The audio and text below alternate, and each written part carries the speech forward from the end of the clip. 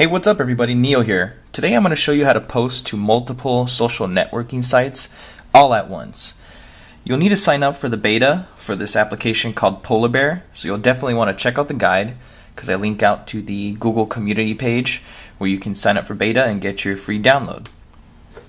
So you open up Polarbear and you want to go into the settings. You can actually tap your menu or you, there's a menu up there and you go into settings which I'm in right now and you want to go first to connect accounts. Now, when I say multiple, I mean multiple. You have Twitter, Facebook, you have Facebook pages, LinkedIn, Blogger, Tumblr, App.net, and Webhook. And as described by the developer, there's more to come. Right off the bat, the first thing that I notice about this application is the interface is pretty small they could have done a better job of just making it a little bit larger and filling up the screen, but it is a beta, so I'm not going to give them a hard time. So you go and it's a secured login, so don't worry. I'm logged in already to Facebook and Twitter. You can do more if you want.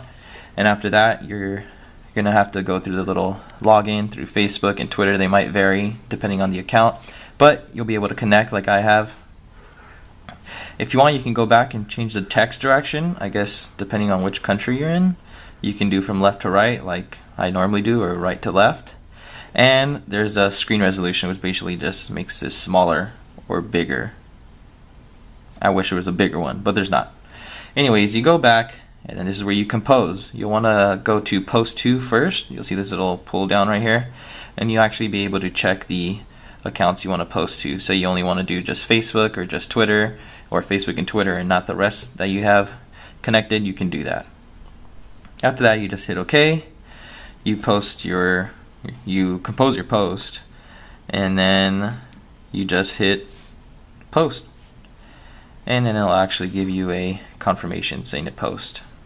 And it's instantaneous. I checked right after it gave me a little check mark, and it was up on both of the sites. So it's pretty convenient. Definitely check out the full guide so you can grab the beta don't forget to like, comment, subscribe for more awesome videos, and thanks for watching.